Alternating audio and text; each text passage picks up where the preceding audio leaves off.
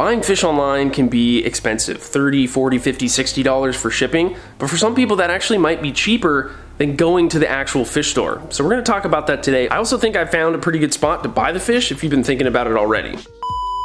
It's been a pretty long time since I've bought fish online, but we need something to put in our Ancient Gardens tank that has been fishless or pretty much fishless for super, super long. Don't worry, I'll go through my whole rationale for why we did this, why we chose to buy the fish online instead of going to the fish store. That'll be kind of the whole point of this video other than showing off the cool new fish that I got. But they're here, we got them approximately one day after we ordered them from the wet spot. These fish didn't have to travel very far. I guess it doesn't really matter though, since you're gonna get the one day UPS shipping pretty much no matter what. So I don't expect these fish to be in bad shape at all. I think they're gonna be pretty much just exactly the same as if we would have put them in our car and brought them home ourselves.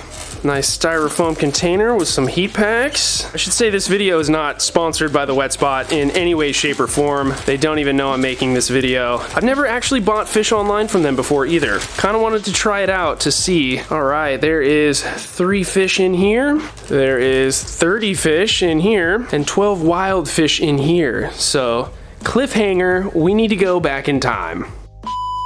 Whenever I get new fish, it's not a lot these days, I know. But whenever I do, I like to make sure the tank is in the best condition possible. Not just because I show off my fish in aquariums to the internet, but because it just makes me feel a little bit better about putting them into a tank that they haven't been in before. I know it's kind of weird, but it's just nice and it's a good opportunity to get your tank looking a little bit better. The Ancient Gardens tank has been on kind of a roller coaster since we set it up. I need to do a detailed video on how we pulled it back from two different battles with some pretty big issues in it to the state that it's in now, which is looking pretty good. It's far from perfect though. I mean, there's quite a bit of algae down here in the hair grass. There's green spot on the back wall. And it might be kind of hard to see without the right angle here, but, but there is some staghorn that's attached itself to some of the Monte Carlo. And we have this sort of obnoxious Pinnatifida that grew too big because it's not getting enough light. We want to remove that. We need to do a little bit of work to this aquarium before I think it's going to be perfect for the fish. Here's a tip for you though on just general tank maintenance. Start with the least messy thing you need to do and work your way up to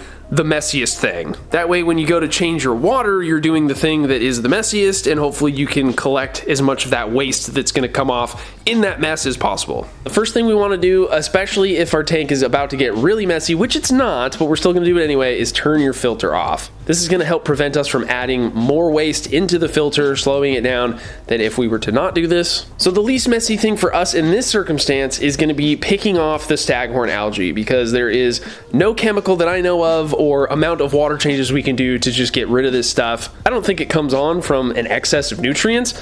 Could be wrong. I just, I really don't know. I seldom see it in my aquariums, but when I do, I usually just go through a manual removal process, painstakingly go through and pick as much of it out as possible. Once we're done picking all that stuff off, then I'm gonna move down to the stuff that's down in the hair grass and around the substrate. My substrate's not super dirty, but kicking stuff up down there is inevitable and it's going to release some waste into the tank. Now we're going to move on to the next two things that are messier than what we just did. First thing I'm going to do is scrape that green spot that's growing on the back panel of the glass. There's a little bit on the front of the glass too. I just tend to do this like every other day or whenever I see stuff pop up, so it's not as big of an issue as the stuff hiding in the back. Sometimes I do this while I have the water changer going, sometimes I don't. It's not a huge deal if this floats around the aquarium. It's not going to spread and cause any more problems. Now let's get to the potentially messy messiest thing we're going to do, and that is remove the Pinnatifida. Before I got in here, I wasn't sure if we were going to uproot this whole thing or if we were just going to go through and try trimming it first. I just went ahead and started my siphon anyway, so that way if I was going to pull this out, then I could quickly siphon up any of the debris that pops up because of that. And it turns out we kind of did a hybrid of both. Like if you pull out the plant really slowly and contain the detritus and the material down at the bottom of the aquarium, then you don't need to have the siphon going at the same time. This is just kind a little hybrid trick, I guess, to try and remove stuff if you're going to be extra messy. But you don't have to be. You can go slow. By following this little method, I guess it is, you can help reduce the amount of waste that ends up in your water column and then eventually back into your filter or covering the surfaces of your tank. It can just kind of help you out and keep things a little bit more tidy when you're doing your maintenance. Here's another tip for you guys when you're changing your water. So if you're trying to check the temperature that you're putting back into the tank, grab your handy dandy infrared thermometer, put a beaker underneath your Python system that is inevitably I'm sure, gonna drip. That way you can check to see if the temperature is pretty much the same as what you were taking out. You can also hit the tube right before it returns to the tank. I'm not sure how accurate this is. It seems to be a little bit warmer. Maybe it is warmer here at this portion, but I wouldn't trust it as much as the previous method. When I'm filling the tank back up like this is when I usually put in dechlorinator. As I've mentioned it before, I have super low chlorine levels, like undetectable, so I don't need to do this 100%. So this is a step that I still do sometimes from time to time. You never know when the wastewater treatment facility is gonna switch things up on you. So of course we use Fritz because they're a channel sponsor, and I like to use the Pond Guard because it's more concentrated than the regular stuff. We do have about four Ember Tetras randomly in this tank. It was originally my plan to remove these fish because we are bringing in new fish that could have diseases. Hopefully they don't, but you never know. It's just impossible to get these four Ember Tetras out. The aquascape definitely doesn't help, right? Like we can't be moving around a net too much in this tank or we're just gonna destroy everything. So these guys are gonna have to stay in here at the end of the day, it's not a huge deal. If any of the fish that come in today have a sickness, we're gonna have to treat this whole tank anyway. We're not gonna be able to take them out and treat them in a separate tank, so, so it shouldn't be that big of a deal. We're gonna cross our fingers and hope for the best, hope that that doesn't happen. I also decided about halfway through this whole process that I was gonna trim up some of the Monte Carlo trees, which is something that you can mix in, you know, while you're doing your water change so you can suck up some plants. The Python doesn't exactly make it the easiest thing in the world because it gets clogged up with stuff so easily, but um, kind of doing this at the wrong stage, it doesn't really matter though. I kicked on the skimmer and that's gonna help to collect like 90% of it and then we can just scoop it out. It's not really gonna add any mess to the tank, so you can kind of do this at any point to be honest. Boom, I think the tank is looking pretty good guys. That trim job really helped it out a little bit. I did a little bit too much of a rounded corner on this one. It's bugging me, but overall I think the tank looks pretty good. Redistributed a few pieces of the Pinnatifida into some of the corners, just I didn't want them blocking the lookways in the tank. And overall, I think we're pretty much ready for fish. So we'll cross our fingers that everything arrives on time tomorrow. We'll let the tank rest and do its thing. It's about to turn off here. And I'll see you guys tomorrow with the fish. I hope you enjoyed that almost unnecessary flashback, guys. But I think it's important to showcase, you know, what's going on with the tank since it's been a super long time. I think since you've really got to see anything from this thing. So here we go. First fish, we have 12 wild dwarf cories. Gonna float them in here very carefully. Try and find a spot that the bag just chills. We got 30 Ember Tetras in here to match those four pesky ones that are still in there. And then we have three Pearl Gouramis. I thought this would be just a perfect fish to be the main swimmer up at the top. They're looking super healthy and feisty. They wanna get out of there, but we gotta let them float for 20 minutes, get them temperature acclimated. I'm gonna try and reposition these bags with two hands so we'll see you in 20 minutes. Fish still have a little bit of time left on their temperature acclimation, but I wanted to remind you guys that whenever you buy fish online, if you are to do this, you know, you're gonna get your bags home and they're gonna be closed like this. You might be tempted to open them up while you temperature acclimate, but you never wanna do that with fish that you shipped. And that's because the fish in the bag, I don't care how long it's been, a day, two days, three days, hopefully it's never longer than that. But while they're in the bag, they're producing waste. There's ammonia in the bag with them. When you open the bag, that's gonna cause the CO2 to escape, that's gonna cause the pH to go up, and that's gonna make the ammonia that's in the bag a lot more toxic than at the levels it was in the bag because it's all a pH dependent thing. If you're just bringing your fish home from the pet store, they've been in the bag for like an hour, you don't really have to worry about this. It's when you start getting into that 24 hour, 48 hour, 36 hour, it just gets worse with time. So while we probably would be safe, these guys have been in the bag for, I, I don't know, maybe 18 hours, we're probably okay to open them. I don't think anything bad would happen, but we're just gonna be extra careful and pretend like there is a significant amount of ammonia in here that would cause problems. I don't know, I just always think it's better to be safe than sorry. That's why we did things like adding the dechlor when I didn't really think we needed to because I know my water, and things like adding the nitrifying bacteria, even though it's probably not gonna make a difference in this case. And it's why I also do subtle things like turn off the lights. We want to be as nice to our fish as possible. They've had kind of a weird journey, even though uh, I'm sure they've done this before, right, to get to the fish store, unless they were bred by the fish store. I don't know. I'm getting into semantics here. We need to wait like five more minutes, and then we should be good to go to check these guys out.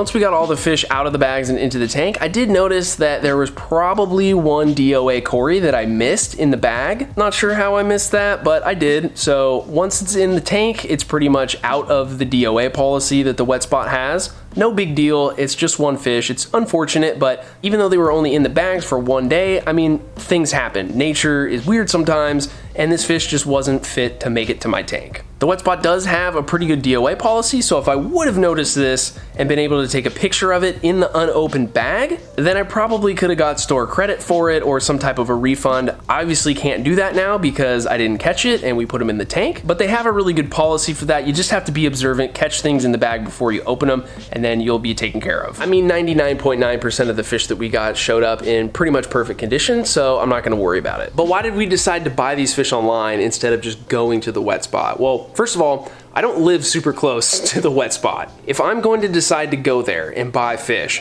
it's pretty much an entire day thing. You know, you have your car ride there and then back, and when you're coming back, you pretty much always hitting rush hour. That can add up to an extra hour. Plus, you know, you go to the fish store and then you're there for at least an hour probably two. You got the gas money that it takes you to get there. All of these factors I figured into the whole fact that I'm paying $30 for shipping. And when I did that math, I just came to the realization that paying $30 for shipping is probably cheaper than gas and time combined. Not to mention, if I go to the fish store, and I know you know what I'm talking about with this, you pretty much always spend more money than you were intending to. So I avoid that problem combined with all the other things, it just kind of made sense to do this. Going to the fish store is a pastime of fish keeping. You know what I'm talking about. So if you live next door to a really good fish store that has what you want, then you know you don't need to buy fish online unless they don't have what you're looking for. That's always something that kind of circumvents all of this. If you're looking for something specific and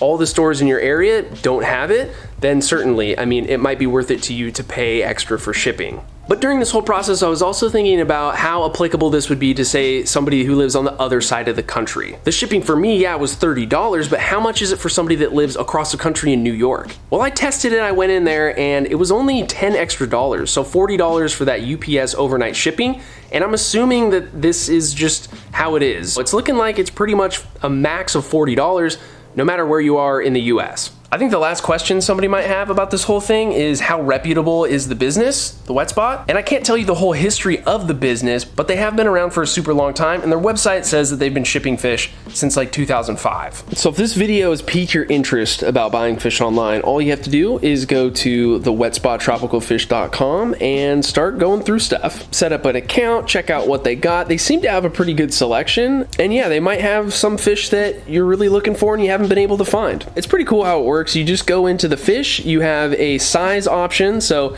for certain fish, they're to have different sizes available. And then you have the sex of the fish, so you can get a male, female, or an unsexed fish. A lot of them just come as unsexed because most people don't really care like what the sex of their neon tetras are. Some of the fish also have the option to get them in a breeding pair, which is pretty cool. And then the last thing you can select is the origin. So on a lot of fish, it's going to be tank raised or wild. There's both, but a lot of them are just going to be strictly tank raised or strictly wild. So yeah, I had a pretty good experience with the whole thing. And I think, you know, if you live like an hour, two hours, three hours from a fish store, then it definitely makes sense if you're comparing the 30 or $40 shipping to the amount of gas that you're spending going to the fish store. Now, nothing can replace the experience of going to the fish store. I'm not trying to convince you to avoid that. That's something that's really special, and fish people know what I'm talking about here. You guys know. But this was the best option for me at this specific time. I'm not going to abandon going to the fish store by any means, but just know that this is a viable option. Shipping fish in the mail has been done for forever,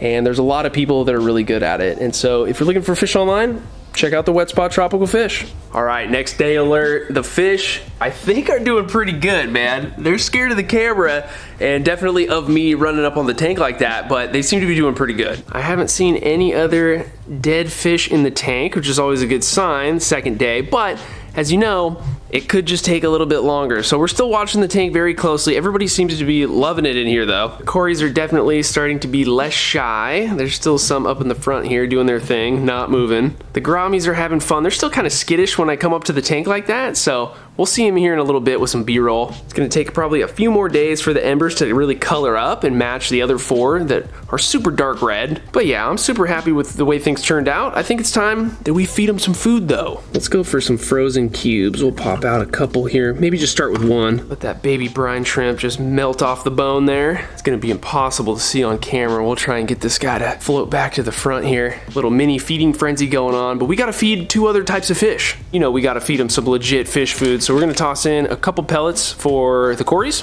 perfect sinking food for them. Starts to sink right away, right in their spot here. Hopefully they find that. And then we'll try a little bit of the community for the gouramis.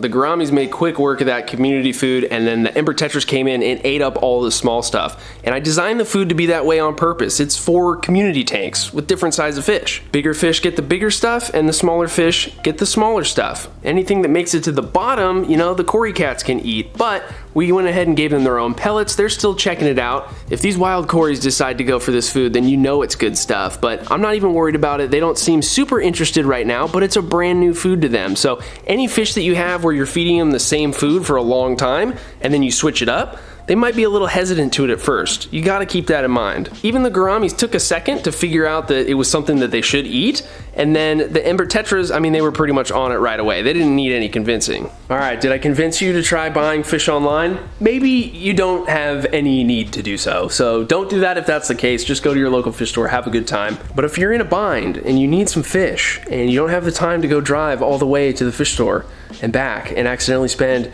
300 more dollars than you wanted to spend, then maybe this is a good option for you. So I hope this video helped you guys. Check out links. I'll have them down in the description, comments, all the places where links go so you can check out the wet spot. And I'm gonna get back to enjoying my new fish in their awesome little tank. Thanks for watching guys, and we'll see you next time.